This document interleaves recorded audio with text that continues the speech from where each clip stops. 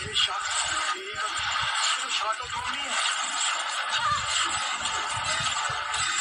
पार्वती को पता चल जाता है कि दामनी एक चुड़ैल है जहाँ पे वो शिवाई को ले जाकर किसी झरने के पास ले जाती है, जहाँ उसकी शक्तियाँ खत्म कर उस झरने में शंख के अंदर रख देती है, जहाँ शिवाई का पता लगाने के लिए पार्वती कांटे बिछा देती है, जहाँ पे चुड़ैल दामिनी बेहोश होकर गिर जाती है, उसका पता लगाते ही शिवाई को देखेगी झरने में सात मछलियों के बीच में पाएगी, जहाँ पे वो शिवाई को बचाकर वापस घर लाएगी, जहाँ चुड़ैल दामिनी और पारो दोनों में